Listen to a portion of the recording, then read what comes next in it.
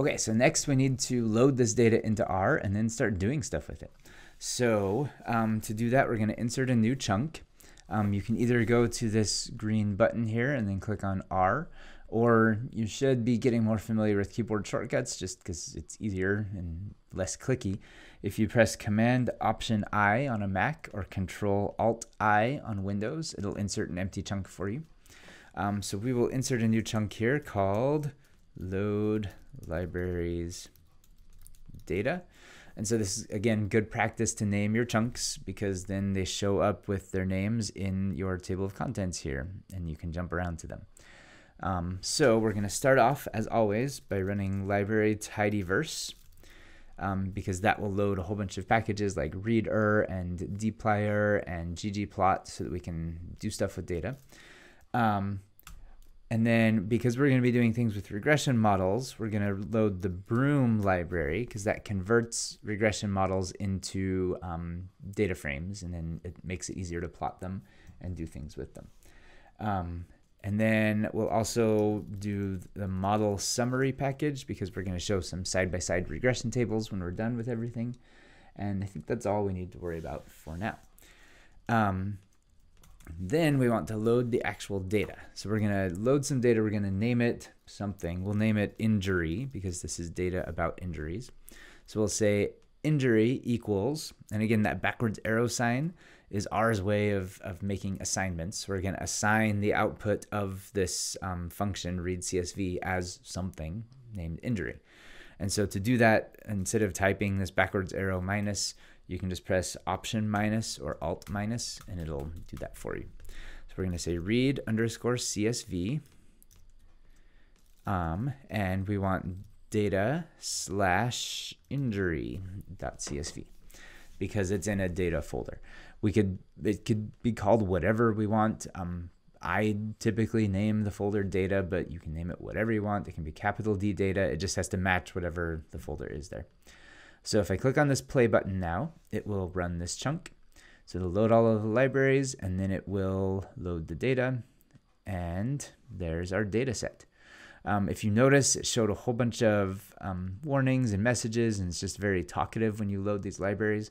Um, I don't like that, especially when you knit the document. I don't like seeing all of the, the warnings and messages because that just kind of um, crowds the document and makes it harder to read. So if you click on this gear icon, for the chunk, we can tell it to not show warnings and to not show messages and then apply. You can also just type message equals false, warning equals false.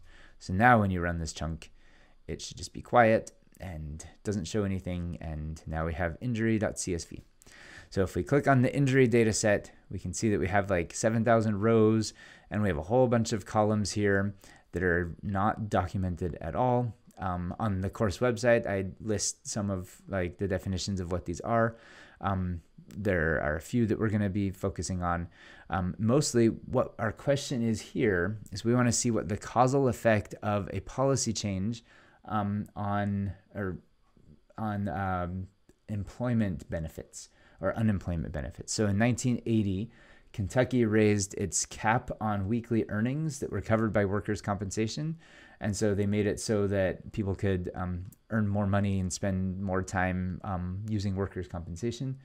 And so what we want to do is figure out the causal effect of that change to see if it if making that change um, made it so people were unemployed longer. Um, and so that's the causal effect we're, we're concerned about. So this column right here is after change, um, AF change.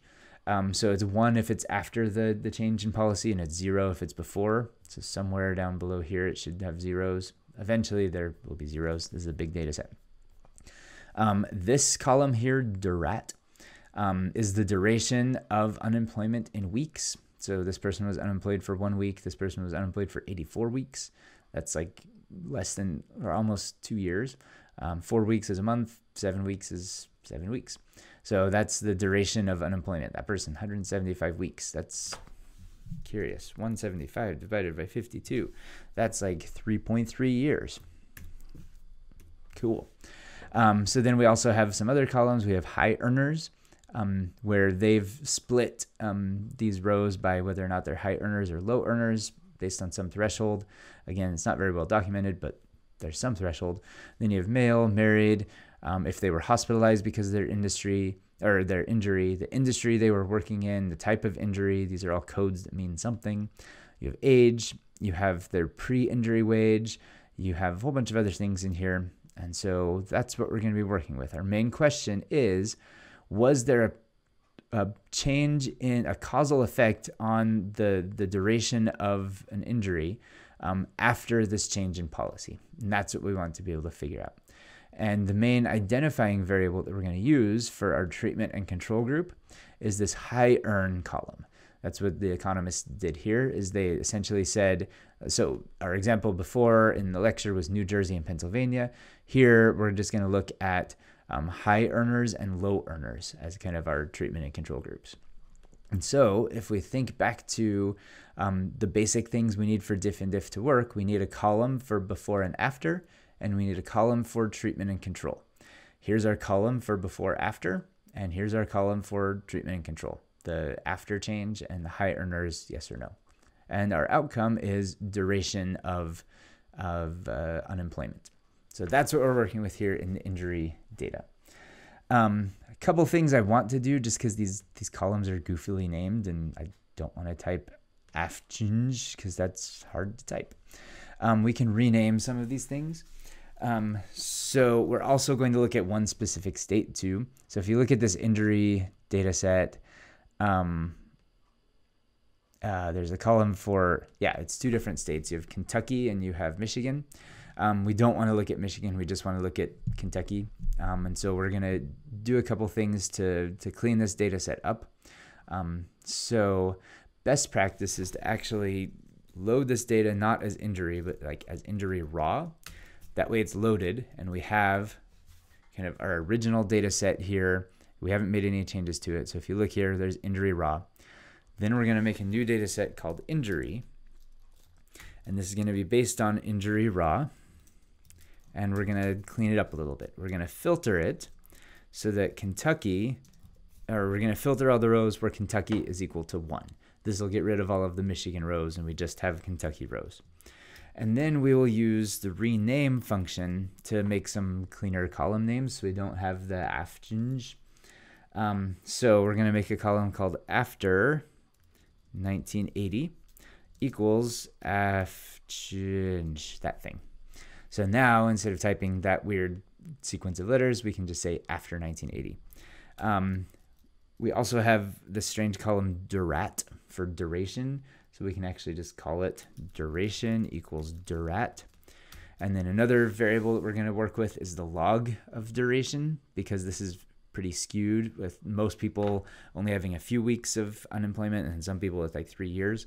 Um, and so there's a log version of that um, with L durat, but I don't want to type durat all the time. So we can just call this one log underscore duration equals durat. Okay, so now if we run this chunk, there we go. We have our injury raw. We've loaded that big data set in here, but now we have another data set called injury that only has 5,600 rows instead of 7,100 rows. So it shrunk down significantly. And if we look inside injury, it's no longer afchnge, it's after 1980. And instead of durat, it's duration. And over here, it should be log duration. So all is well. And we have a nice clean data set and we can start doing stuff with it.